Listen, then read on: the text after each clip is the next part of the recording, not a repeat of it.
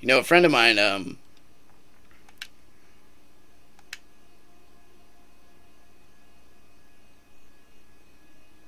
a friend of mine said he, he was he was conversing with a Russian who said, um, you know, what is it? Is it better to be free? What was it? What was the word? Absolutely free, but you'll be known to die or be in prison for eternity.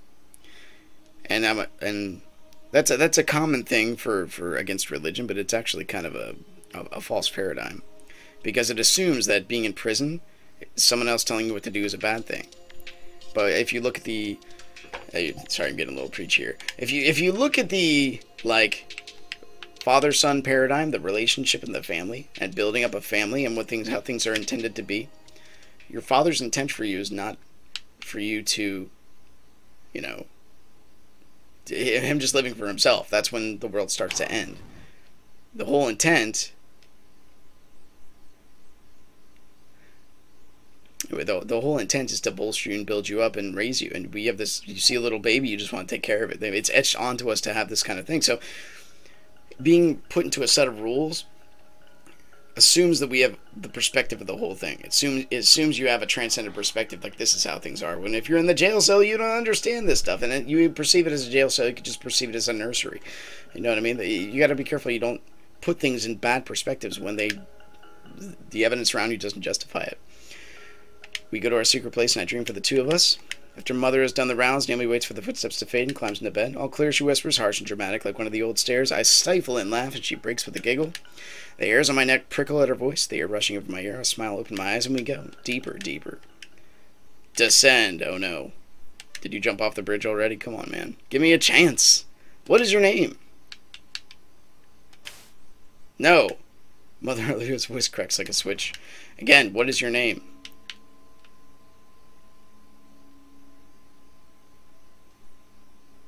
uh,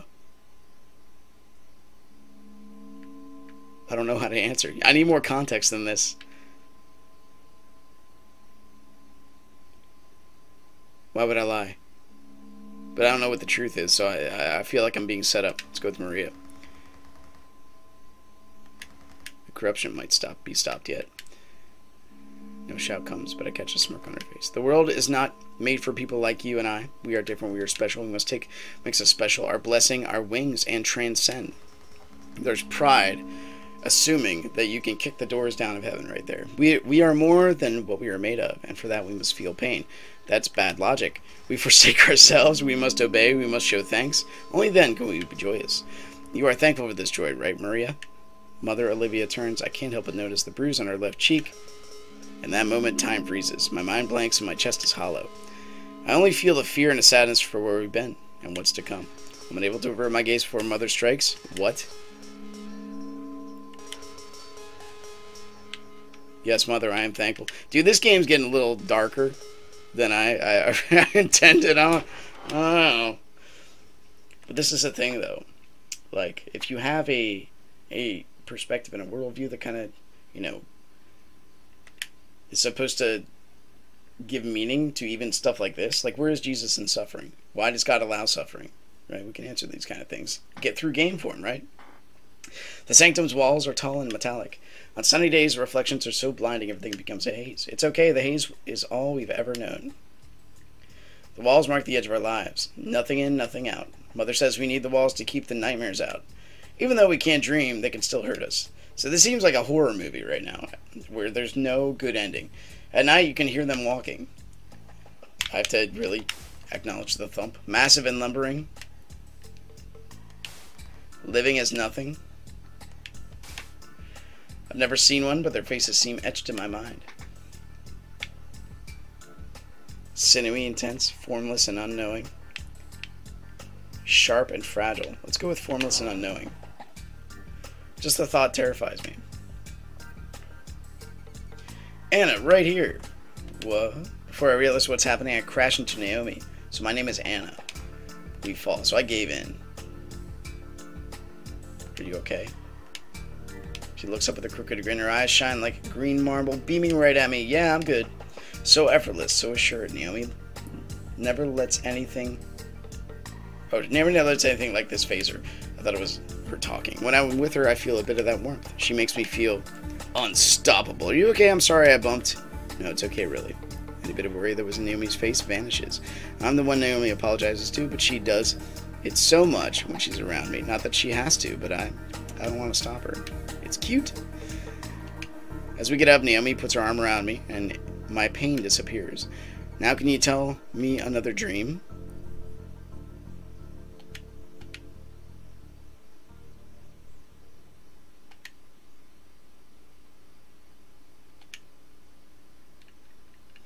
In our space, nothing can hurt us.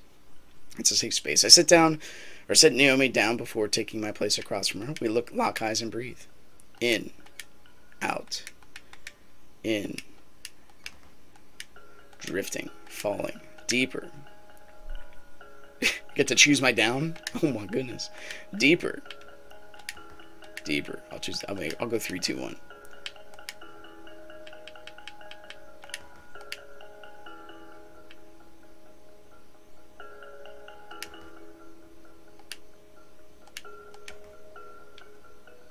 How deep we going, yo? Am I choosing the difficulty of this uh of this game, or is the game turned into like a let the water consume to a, a, a giant cycle in Buddhistic nihilism? Where are we where are we going? We're going to dots. This game requires more coffee. Days pass in and out like goes through the halls. We meander along, aimless and scared, only knowing the course set before us. Father says we're destined for greatness. Mother keeps us in line. So father's the motivational, mom's the physical. All right, morning roll call. I see my classmates file up. I make sure to get there early because I enjoy catechisms. Are you kidding me? Let's just bring more blasphemy into the world. But because I don't want to be singled out more than I already am, which whatever unlucky sister father has his sights on goes down the list, marking off as we regurgitate our given names and creeds. Natalie, Christopher, Sarah, Sierra, Jonathan, Lily. The pen reaches my name. I've rehearsed this a thousand times, but my lips still falter. M Maria. The pen gets subtler every time. Maybe that's the point. Till there's nothing left. Erase and erase. Or maybe I'm just paranoid. The pen reaches Naomi's title. Per usual, she's stumbling into line, falling, failing to hide her tardiness. She stands erect, patting her shirt to flatten the wrinkles she's trying so hard to appear together. No, I mean, she catches herself. Davy, here. I feel that sting again. She's so much better at this than me. But Mother knows what she did. She'll call Naomi to one of her private meetings to show how dark her feathers have become and berate her about purity, even if punishment only adds to the guilt. Though somehow I trust it'll all be okay in the end. That that sounds like something Naomi would say. It'll all be okay in the end. Optimism in the face of adversity. Floating weightless, I open my eyes and Naomi is drifting with me, down, down into the darkness. We are dreaming. I grab her hand and we land gently, one foot, then the other. The surface is wet and shimmering on top. An endless ocean that glints into the void. Slowly, stars appear in the sky. One here, another there. They are faint and flickering, but that their shining gives us hope and warmth. One day we'll fly. One day we'll see stars. Naomi's eyes twinkled at the sight, her mouth agape in wonder. This is kind of a. So she reaches the heavens, hoping to catch a star as it falls. This is a. Um, you know, dreams are, are. It's hard to it's hard to paint a picture inside it until I know the whole context of this. Um, very nihilistic world. She looks back at me and time freezes because right now, Naomi being the optimist is, is the, the person that's kind of going contrary to reality. Why would you believe something that's such a joke if your life is nothing but pain? Your father and mother kind of model something that's not really there, unless you have something inside of you telling something different. But that would be contrast to nihilism. She looks back at me and time freezes. Now, concentrate. I narrate the feelings going through my body, thousands of senses, both real and imaginary, that I breathe life into with my words. Small light shows beneath the surface as I whisper, it grows until it envelops all the ocean we see. The light rises, the water breaks, and though the waves are tall, they pass over us like a gentle breeze. The excitement is palpable, palatable. I didn't read the word. Take it, grasp it, it to my chest, and sprinkle it to the lake. Glittering dust turns to grains of sand. The sand gathers into a mass, and soon we are standing on the shore of a magnificent island. Gasp escapes our lips. Naomi looks at me. I want to go here. Will you take me someday? I smile and exclaim, Yes, and we'll climb the trees. Trees of all different kinds springing from the ground, some tall, some leafy, all green and beautiful, like the ones we only know from the picture book. Fronds, sway, fronds, and rustle. We climb, we see, we gather the fruits and roll in the leaves, and we'll gaze at the sky. No more haze, no more gray, white clouds rolling in the breeze, protecting us and granting us shade. A sun so brilliant and warm, you don't need your robes, but never overbearing. Letting our wings out to shine, letting us soar with the birds, and we'll smell the flowers because we're still on the island, sweet and soft, dotting land, poking from the grass to say hello. Picked and nestled into dazzling bouquets, crowned from you and me. Every color we can imagine, even the ones we've never seen. And we'll swim in the water, Cool, blue, lovely, and clear. The fish are our guide, wondrous and free. This this paints a better picture of what reality should be. The the other one seems like a, a stark violation of purpose and kind of kind of hits you right here, as if it shouldn't be that way.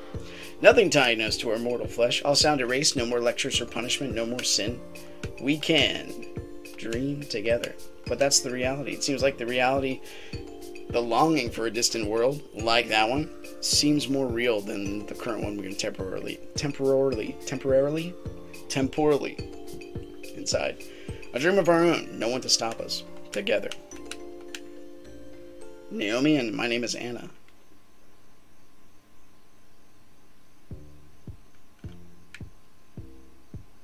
The birds we planted in the sky sway in the wind. Their feathers drop as they fly, drifting, floating, falling, they envelop us gentle as snow.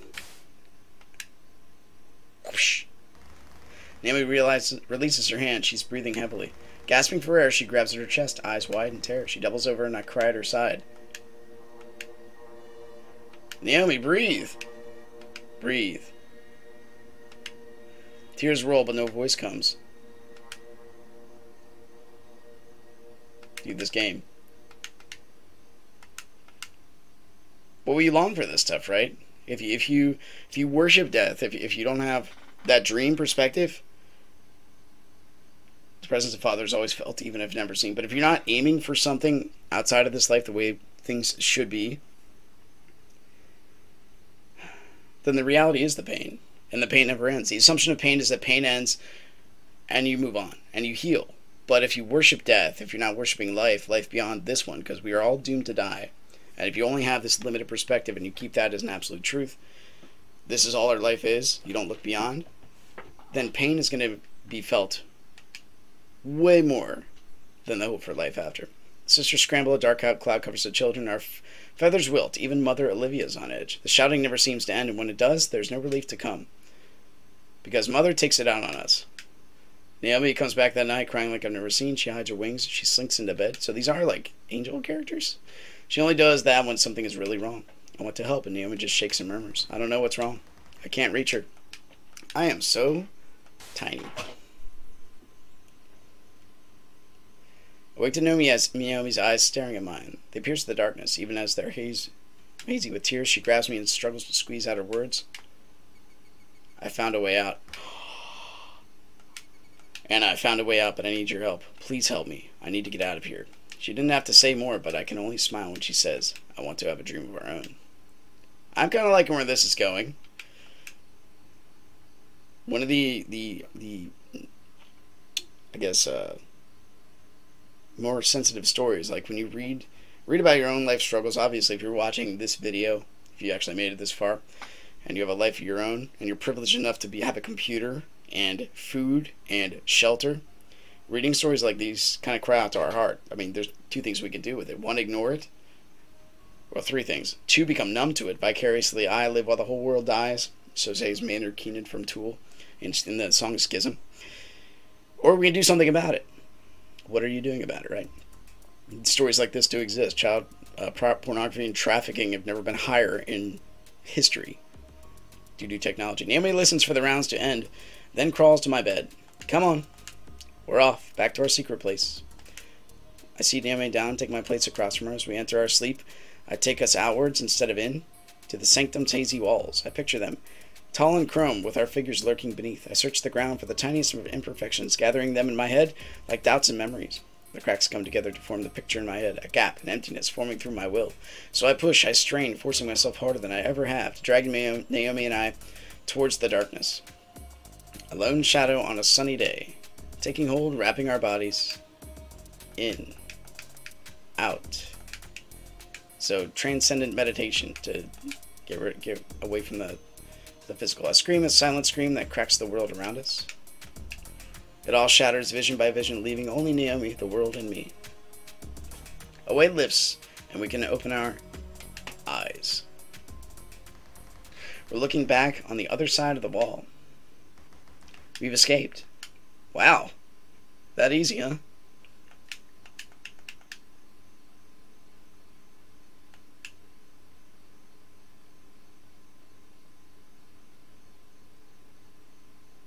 Everything was so immediate. Everything was so real. And as soon as the air hit our faces, it was like Naomi transformed back to who I knew. We run, jumping around the grass. It's so inviting. Light bounces off every surface, the lunar glow wrapped around us. There are trees and flowers and stones and rivers, dirt and sand holding us to the heavens. Our feathers shine, in our hearts we can feel the cage being lifted. I turn to Naomi and look into her, in, look her in the eyes. I'm ready to dream, and we let ourselves get lost in each other. So happy. So free. Too innocent, too naive. Which reality would you rather have? I'd rather say the innocent naive is the one where shallowness and pain dictate reality as opposed to exploration and relishing in each other. Gravity, solemnity, electricity, dang, or bang, sorry, stripped from reverie. Bang. What is reality. Bang. Anna, wake up. They found us. She pulled me up and points. In the distance, three figures. Over the hill. Stalking. Haunting.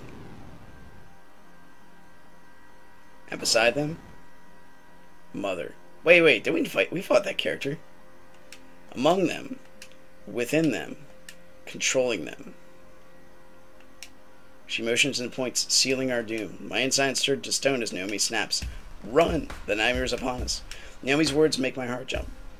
But I don't want to go. I don't want to leave her. Go, Anna, I've got this. I said I'd protect you, didn't I? And she did, she promised. I want to say something, but a force pushes me back. So I go. Faster, faster. I'll choose this faster. Faster faster. My legs hurt, but I can't fa cannot falter.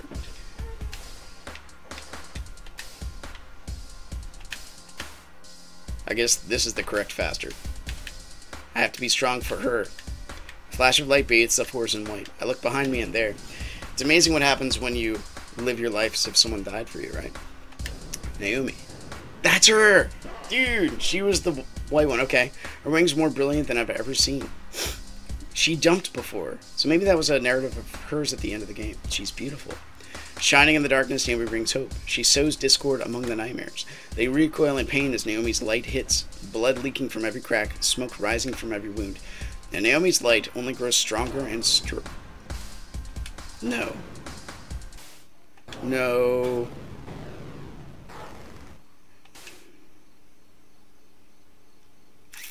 No. Have you ever seen an angel die? Yeah, doesn't happen. I don't think. She, she, she did well up until a point. I don't want to live anymore. Yeah, there we go. She died for you. Sorry, man. You, you don't owe that to her. Rage, sorrow, bloodlust. Crumble to dust as I shred their brittle bodies, one after another. Okay, this is teenage rage. Let's get go. Doesn't help. It doesn't help. It's the thing about rage and unforgiveness, being vindictive. In the Quran, they, they go over this a lot. You don't have to, but it, and uh, reading um, Malcolm X's autobiography,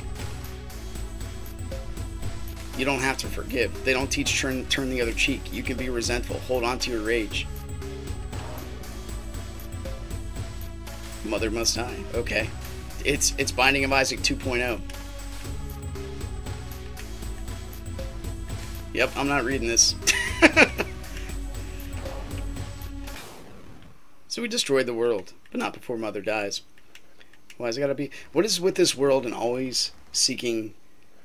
Like w- women seem to be the enemy seems to have a hard on for women. Like he really wants to just destroy females before the males. Her final cry, pathetic and meek, floats into the air, scattered white and black dust.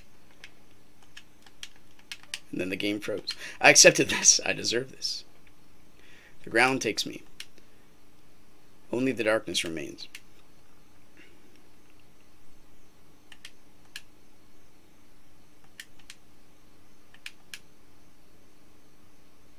Someone put a lot of time into this, man. I'm still wondering where the end game is. Like the philosophy of this whole thing. Because I mean, when it's all text, we haven't we've done like ten solid minutes of texting and reading. Deep in my body, deep in myself, floating and falling. When you when you when you start to live and start to like I'm an I, I I'm an encourager according to my spiritual gift set and just seeing how my life is. When you start to instead of living here and you live out, like they say it's uh, the political the common political uh, uh, counter from a transcendent perspective is that there's no left or right. There's only up or down. I would actually counter that even and say there's no. It's not even up or down. It's more in or out. If you are, you know, partially narcissistic, you'll live here. This is why evolution survival of the fittest makes sense. You live for yourself. But if you live out and just get rid of yourself, don't focus on yourself. Christ tried to advocate this so much turns out when you're a servant to all, you become more of more of yourself when you become a servant to other people. Let the water consume. Did I jump in the water? Dude, wings. Let's go. My vision started to return.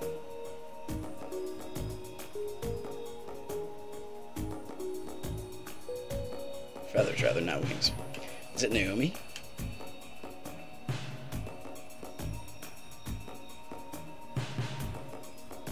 It's amazing how like something like that when she said, "You never see an angel die." Have you ever seen an angel die? Don't even question it, right? Get that feeling where you have an image of something that's awesome and it gets violated and destroyed. It's a, like that's wrong. It just flips on you. But to me, that's awesome. Like no one even questions that thing. That that kind of philosophy, as if something is designed and made as it should be, and we have a reason etched in our mind that this is how things should be, and when it's violated, that we, we have an overwhelming sense of wrongness. Something must happen to fix this. Unfortunately, we kind of tend to go down the darker side, like violence should be used to solve violence, because that's the darker tendency of people. Violations should be used to answer violation, when the opposite's true, which is what Christ teaches. You know, forgiveness is the only way to heal that kind of stuff. Healing, restoration, is what's what should be more focused on. Um, and the only way you can get that is, is through Christ to God. He's the only one that taught that. No one else can live like her. Anyway, I focus as hard as I can, picturing her, her eyes, her smile, that awkward way she walked, legs too long for her body, and shoulders slightly too broad. It made her so insecure, but she never showed it. So fearless, self assured, if only on the outside. So perfect to me. Come back. Please come back. Come back to me. She takes shape in my mind, in my arms. A weight brings me down further and further together. I'm here standing on an endless ocean. I can see the shore ahead of me and the ethereal sun half remembered. But you are here in my arms. Naomi, I've finally done it for you. I made it. Aw.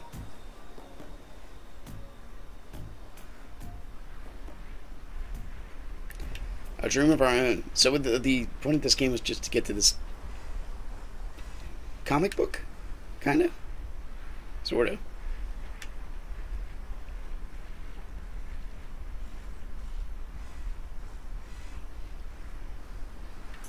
Fear not, child, for there is salvation to be found, even of your kind. The mark has claimed another. Does it always have to be like this? Is that Naomi? May the Null Sun have mercy. May the Null Sun, have mercy. A trauma reveals itself at the center of the world. You have been marked. Others may see you differently, and the world will reject you. I understand that. But maybe we can finally awaken. Maybe.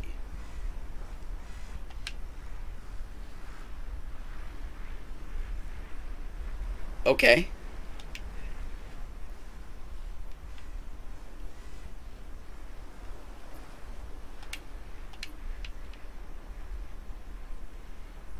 Ignores defense but cannot break.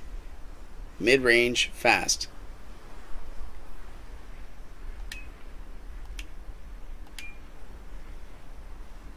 Why would I ever choose anything else? I guess, uh.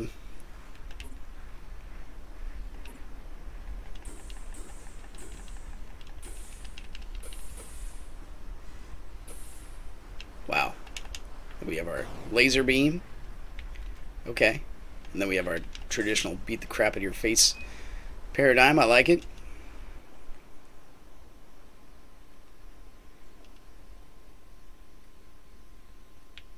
Hello. Scorned. Oh my gosh. oh, what is this? Reduce all stats but increase max VP by 20? Wow.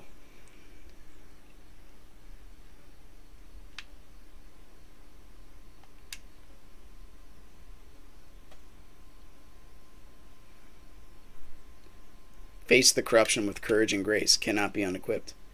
Marked. Oh, got it, got it, got it. Less damage.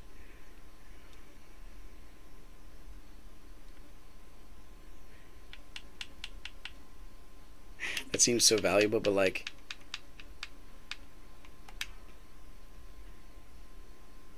I think we'll be okay with reduced stats.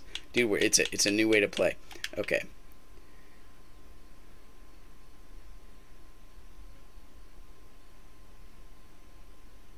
Greatly reduce attack stamina use at max health. That might be helpful. It costs four though. Paradigm shift. Now we're interested. Then the indicator's not interested. We can't break, so that's useless. Dodge enemy attacks to replenish stamina. Boom, boom. Now I'm thinking like, this probably just ain't worth it, honestly. At least not right now. Unless we find more virtues, then it might be. So we just had that dream. I don't know where the game started though. Maybe it's this is just a, a different cycling. We're already max level. Okay, we can't travel. Let's see. Let's look at the familiar garden real quick before we end this. Do we? Okay. I, I was thinking maybe there'd be something here. I love you, my little bu little buddy.